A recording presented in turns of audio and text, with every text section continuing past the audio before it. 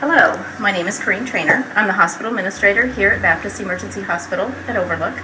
It is our intention to provide you with this instructional video of our fire alert system. This will protect both staff and patients. Thank you for your participation.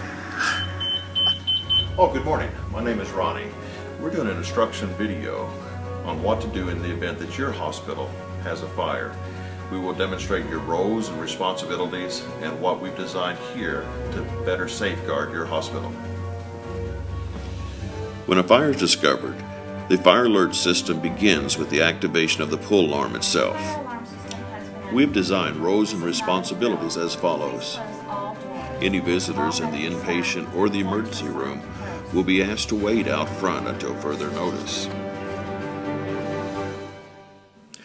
RN and available staff are asked to close all doors as quickly and efficiently as possible. Lab and available staff should find and, if able to do so in a safe manner, extinguish the fire. X-ray will be asked to turn off all gas controls in the various locations. Here is a brief review from each department. The fire alarm is pulled and activates the voice response system. Anne-Marie. My role in the event of a fire is to ensure that all visitors wait out front and to prevent other visitors from going back. I'm Claire. I'm with the front desk and my job during a fire alert is to preserve medical records. My name is Diana, the inpatient RN. My role is to shut the door and wait for further instructions. Hi, my name is Melinda. I'm a CT imaging tech and my role in case of a fire is to turn off the gas valves one of the locations is here, and you would just pull these levers towards you.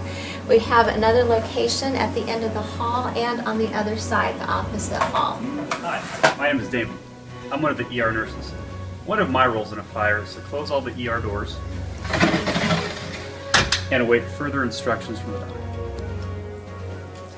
Hi, I'm Gennard. I'm an RN, and in case of fire, I have to make sure all the doors are locked and all the medicines are secured. Hello, I'm Dr. Garavellis. I'm one of the emergency physicians, and my role in a fire alert is to determine the order and manner in which patients are evacuated from the department. My name is Stephen. I'm the ER tech, and I'm also part of the fire brigade. My job is to find the fire and, if possible, to put it out. To look for a fire would be a patient's room who is using oxygen. Another possible location for a fire would be your kitchen. Make sure to check in if you cannot contain the fire, close the door and announce for evacuation. Remember, once a fire is discovered, remain composed and remember your assigned role. Also, there's no need to run, but you can move quickly. In a true fire alert activation response, there's no heroes. It relies on the cooperation of each person doing their own roles and responsibilities. Teamwork will be the most important factor to ensure the safety of our patients and also to our co-workers. Confusion sometimes can lead to misdirection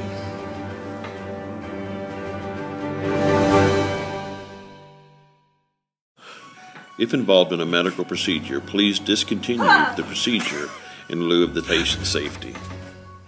If the fire is contained and everyone is safe, feel free to celebrate as you like.